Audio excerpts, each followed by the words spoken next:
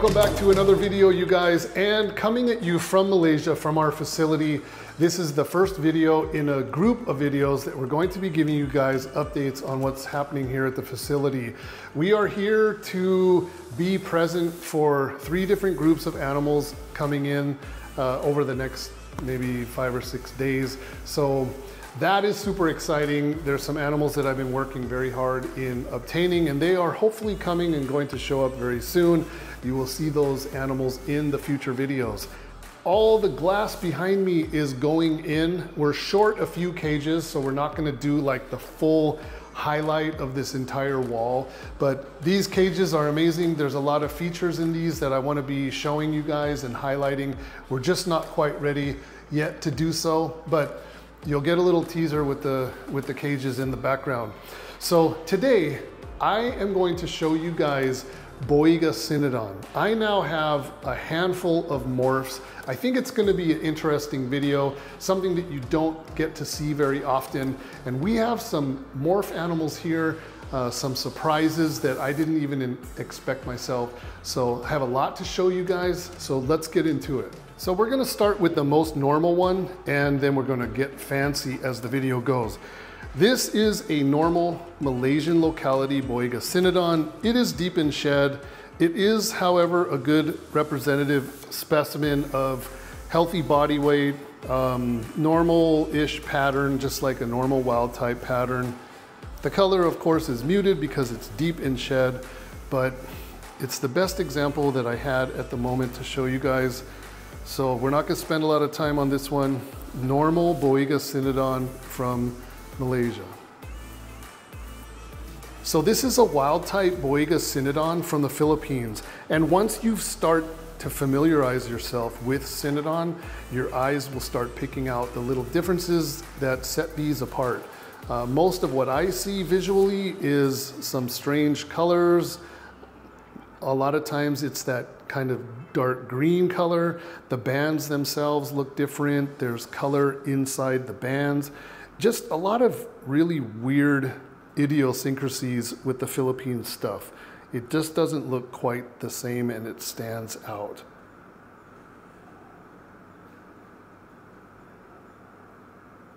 So also from the Philippines, we have these weird kind of patternless washed out ones. What they are, I don't know. It kind of remains a mystery to me. They seem like they're way smaller than normal Cynodon. We have a pair and they just don't seem to be attaining the same sizes as the Cynodon that I'm used to.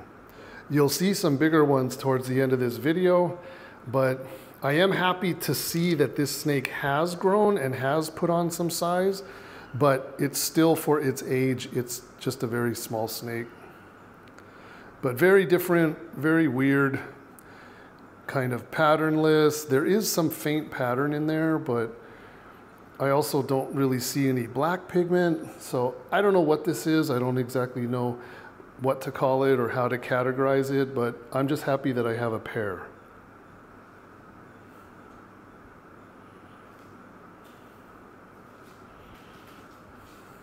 So now moving back to Malaysia, Boiga Cynodon, this is one of our melanistics. In fact, this is one of the females that laid eggs, and I'm gonna be showing you some babies here shortly.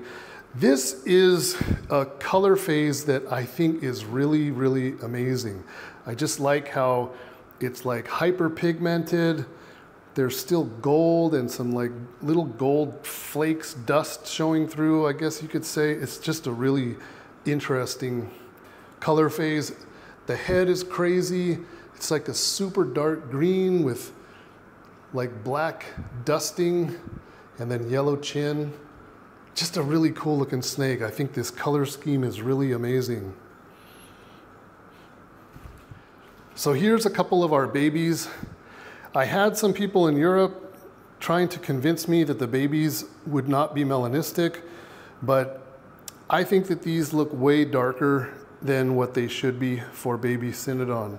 So if I was a betting man, I would say that these are melanistic babies. The heads are dark. There's a lot of black coming in all on the side. This one's in blue, but you can still clearly see it. So I think that these are going to grow into being the, the dark Cynodon.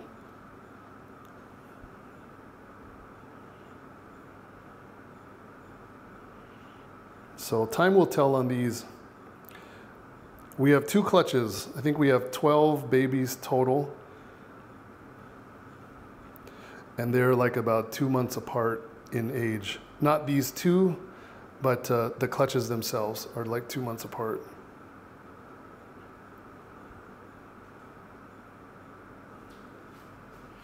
So this is a new arrival. This is an Indonesian animal, and it was sold to me as a T-positive albino, or it's hypomelanistic, or I'm not really sure what it is. There's no black pigment on this animal. It does not have red pupils, so it's not like a true albino, but it is definitely a morph. Whatever you call it, it is an amazing snake. When it first arrived here, I wasn't here, I didn't see it.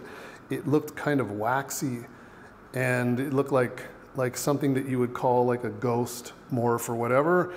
And it didn't eat right away. And I suggested to my manager that, do you think it's in shed? Maybe that's why it's not eating. I told him to leave the food in overnight. And when he came back in the morning to check, this snake had both shed and fed.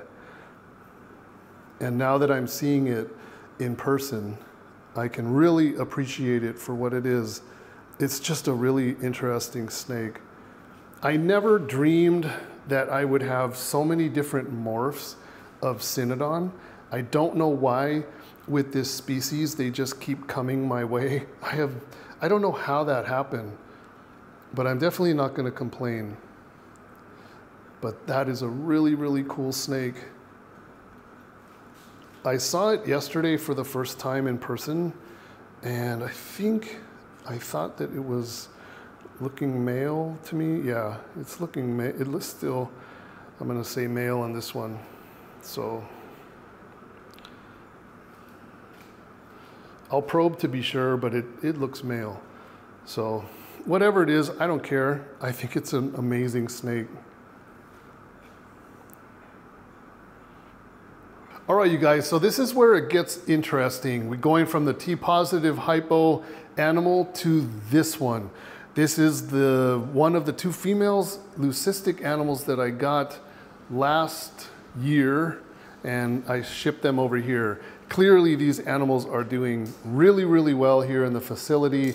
Um, this is a girl and she is always on display just like this.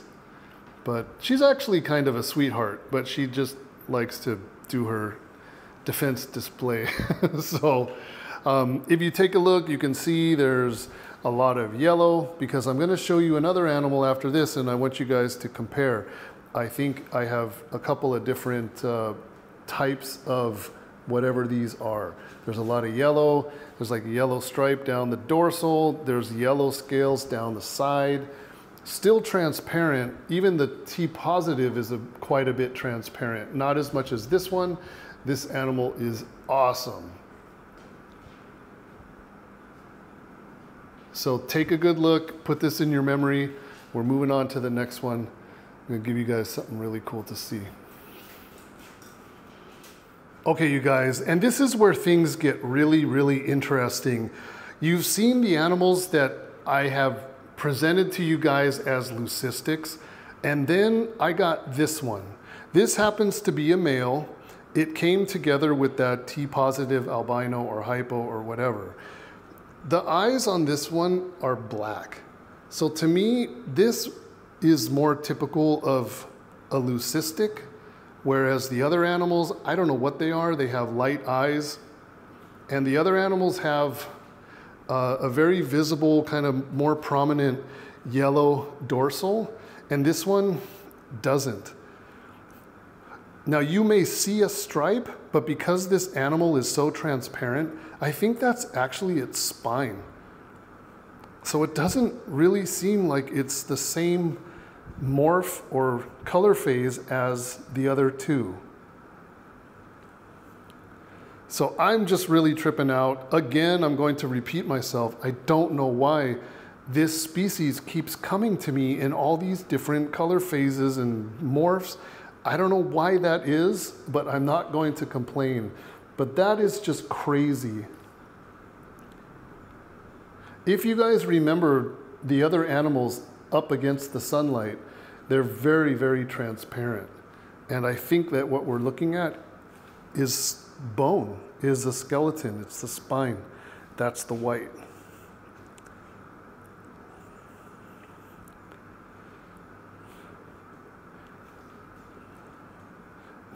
but it is so cool, my gosh. And I need to probe these animals, but uh, this one also looks male, but it's very difficult to tell sometimes on these. So I'll definitely be probing and kind of figuring out a game plan on how to proceed, but that is cool. So that's gonna do it for the video. Boiga Cynodon. We have a lot of different animals represented here in our collection in Malaysia. Hope you guys enjoyed the video. It's always a joy for me to share all these because I just think they're so cool. They are underrepresented in the hobby and we're doing really cool things with them. So we'll see what the future holds. Have no idea. Maybe some more morphs will continue falling in my lap. I have no idea. So that is it. Thank you so much for watching. We will see you in the next one. Take care.